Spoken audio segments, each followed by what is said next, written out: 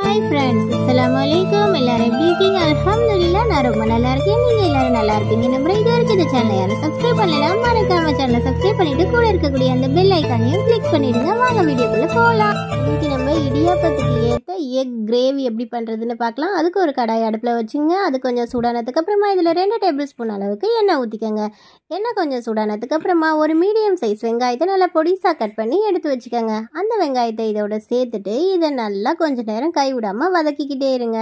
வெங்காயம் நல்லா வதங்கணும்னு அவசியம் இல்லை. வெங்காயம் அந்த கண்ணாடி பதம் வந்தாலே போதும். அந்த அளவுக்கு வெங்காயத்தை நம்ம நல்லா வதக்கிக்கிட்டே இருக்கணும். பாருங்கள் இப்போ வெங்காயம் கொஞ்சம் நல்லா வதங்கிடுச்சு. இந்த ஸ்டேஜில் நம்ம ஒரு மீடியம் சைஸ் தக்காளியை பொடிசாக கட் பண்ணி எடுத்து அதோட சேர்த்துக்கலாம்.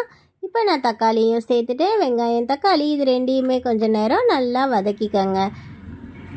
இப்போ இதை கொஞ்சம் நேரம் கை விடாமல் கிளறிக்கிட்டே இருங்க.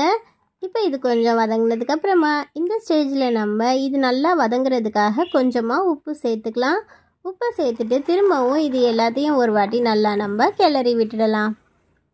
உப்பு சேர்த்துட்டு இப்போ இது எல்லாத்தையும் நல்லா நம்ம கொஞ்சம் நேரம் கிளறி விட்டுட்டோம். இந்த ஸ்டேஜில் ஒரு டேபிள் ஸ்பூன் அளவுக்கு இஞ்சி பூண்டு பேஸ்ட்டு சேர்த்துக்கோங்க. அதை சேர்த்துட்டு திரும்பவும் இது எல்லாத்தையும் நம்ம ஒரு வாட்டி நல்லா மிக்ஸ் பண்ணி விட்டுடலாம். இதோட பச்சை வாசனை மாறுற வரைக்கும் இதை நம்ம கொஞ்சம் நேரம் கிளறிக்கிட்டே இருக்கணும்.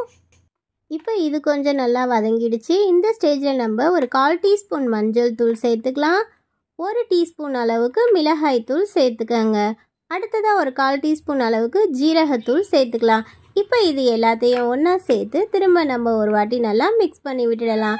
திரும்ப இந்த மசாலாவோட பச்சை வாசனை மாறுற வரைக்கும் இது எல்லாத்தையுமே நம்ம நல்லா கொஞ்ச நேரம் கைவிடாமல் வதக்கிக்கிட்டே இருக்கலாம். இப்போ பாருங்கள் மசாலா எல்லாம் நல்லா வதங்கிடுச்சு.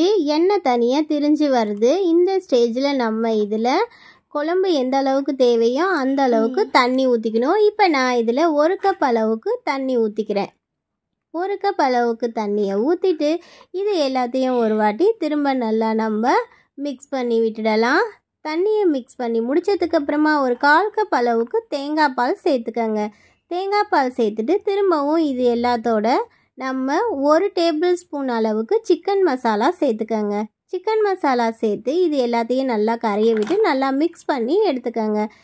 இதை நல்லா மிக்ஸ் இப்போ இந்த மசாலா எல்லாம் நல்லா கரைஞ்சிடுச்சு.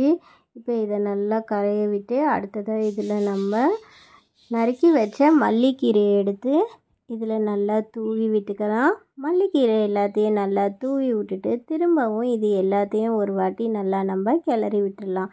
அடுத்ததாக இதில் தேவைக்கேற்ப உப்பு சேர்த்துக்கலாம். உப்பு சேர்த்துட்டு திரும்ப இது எல்லாத்தையும் ஒரு வாட்டி நல்லா கிளறிட்டு இதை அப்படியே ஒரு மூடி போட்டு ஒரு ரெண்டு நிமிஷம் வேக வச்சு திரும்பி நம்ம இப்போ இதை ஓப்பன் பண்ணிக்கலாம். பாருங்கள் குழம்பு நல்லா கொதிக்க ஆரம்பிச்சிருச்சு.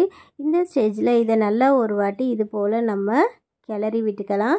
இதை நல்லா கிளறி விட்டுட்டு பாருங்கள் இப்போ இதை அப்படியே நல்லா கொதி வரட்டும்.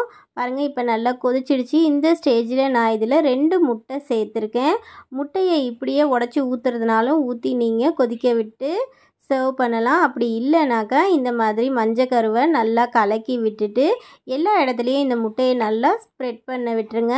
இது போல் எல்லா இடத்துலையும் ஸ்ப்ரெட் பண்ணிவிட்டு அடுத்ததாக இது எல்லாத்தையும் அப்படியே நல்லா கொஞ்சம் நேரம் கிளறி விடுங்க. முட்டை நல்லா வேகிற வரைக்கும் நல்லா கிளறி விட்டுருங்க. அப்போ தான் இந்த கிரேவி நல்லா சூப்பராக இருக்கும். ஸோ இப்படியே முட்டை வேக வேக இது நல்லா ஒரு கெட்டி பதத்துக்கு ஆக ஆரம்பிச்சிடும் இப்போ நல்லா நம்ம வேக வச்சு இப்போ நம்ம ஓப்பன் பண்ணி பார்த்துடலாம் பாருங்கள் இப்போ நல்லா எப்படி முட்டை நல்லா வெந்து நல்லா கெட்டியாக இருக்குது அப்படின்னு. அவ்வளோதான் ஃப்ரெண்ட்ஸ் இதை அப்படியே நம்ம இடியாப்பம் சப்பாத்தி பூரி அப்படின்னு எதுக்கு வேணாலும் சேவ் பண்ணிக்கலாம். அவ்வளோதான் நீங்களும் வீட்டில் இதை ட்ரை பண்ணி பார்த்துட்டு எப்படி இருந்துச்சு அப்படின்னு மறக்காமல் எனக்கு கமெண்ட்டில் சொல்லுங்கள் அடுத்த ஒரு சூப்பரான வீடியோவில் நான் உங்களை மீட் பண்ணுறேன் பாய் அஸ்லாம் வலைக்கம்